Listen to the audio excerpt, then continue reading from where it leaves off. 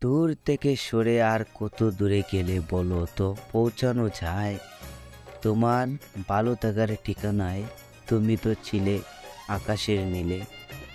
ছিলে রাতের নীরব যোচনায় ছিলে আমার না লেখা কবিতায়। শুনে যে কোন আহ্বান তুমি যে দিয়েছ উড়ান